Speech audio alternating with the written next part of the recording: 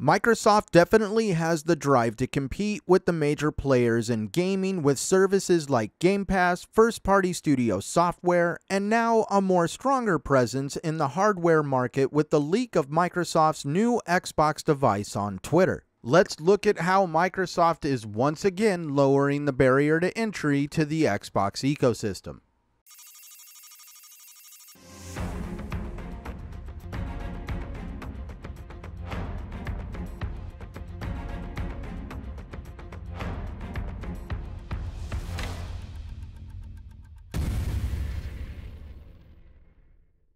What is up, fellow members of the gaming community? Centurion1307 here, and thanks for tuning in. Be sure to hit that like and subscribe button, and let's begin with the fun.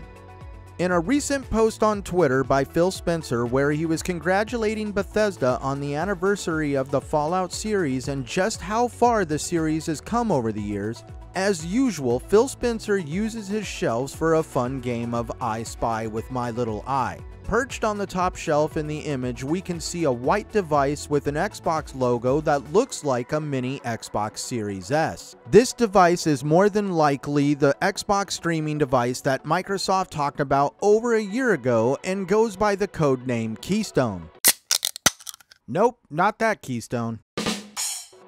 In an interview over a year ago with Stratechery, Phil Spencer made the comment, I think you're going to see lower priced hardware as part of our ecosystem when you think about streaming sticks and other things that somebody might want to just go plug into their TV and go play via xCloud. You could imagine us even having something that we just include with the Game Pass subscription that give you an ability to stream xCloud games to your television and buying the controller. This device will add on to how Microsoft plans to compete in the gaming space and take full advantage of delivering their games and services to a broader audience. The growth of streaming platforms is staggering. Just before 2018, the revenue for streaming was just over 27.5 billion in revenue. Fast forward to today, with more people ditching cable and satellite, the streaming market has become extremely competitive with services like Apple TV and Disney Plus giving the OG services like Netflix and Amazon Prime a run for their money.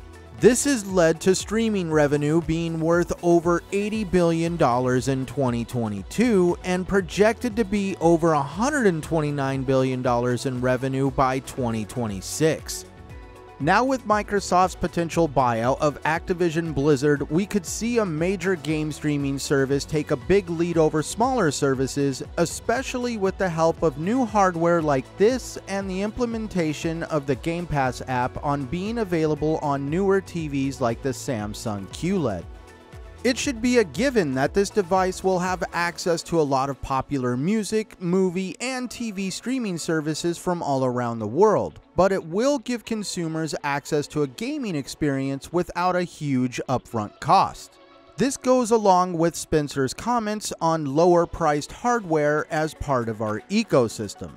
While competitors like Sony raise the price of its hardware and PC rigs that can outperform consoles are costing double, sometimes triple the cost of a console, Microsoft Xbox continues to lower the barrier of entry on the Xbox ecosystem with devices like the Keystone and services like Game Pass and xCloud Gaming.